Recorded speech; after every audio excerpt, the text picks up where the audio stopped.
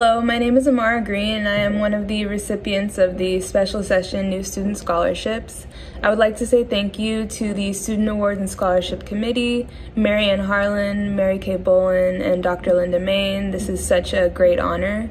I look forward to beginning the MLIS program this fall at San Jose State. My goal is to focus my time as an MLIS student, learning skills that can aid in moving libraries towards the future, focusing on web programming, data analysis, and information system design, as well as understanding the changing landscapes of information access needs.